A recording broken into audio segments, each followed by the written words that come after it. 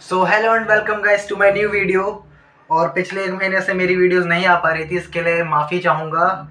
क्योंकि यार, तबीयत बहुत ज़्यादा ख़राब हो गई थी मेरी, कुछ दस पंद्रह दिन पहले की मैं आपको फ़ोटो शेयर कर दूँगा यहाँ पर कैसी कंडीशन हो गई थी। उसके बाद थोड़ा मतलब मैंने अपनी डाइट वगैरह सही करी और थोड़ा घर पर नॉर्मल वर्कआउट्स करता था। तो उसके बाद में जैसा भी है, उस लेवल का तो नहीं, मगर थोड़ा ठीक हुआ हूँ पहले से।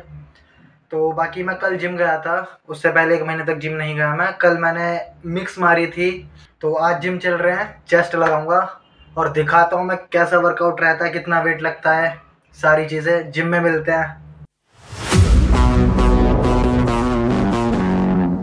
तेरा सारा सिस्टम पाड़ देंगे।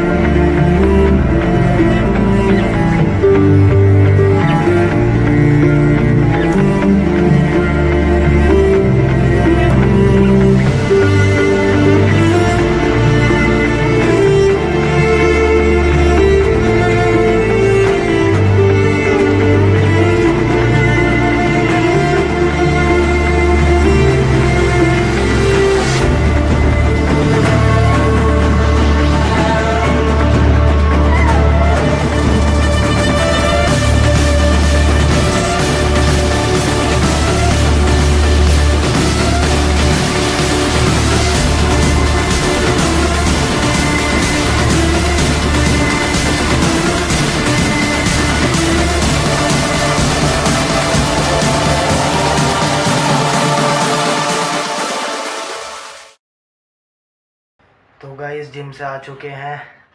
वर्कआउट बिल्कुल भी खास नहीं हुआ यार। कोई नहीं धीरे धीरे स्ट्रेंथ आएगी। मैं खुद हैरान हो गया बहन चो इतना कम वेट लग रहा है मेरे से। चलो, ध्यान रखो आप लोग। और वीडियो अब आती रहेंगी। मिलते हैं नेक्स्ट वीडियो में।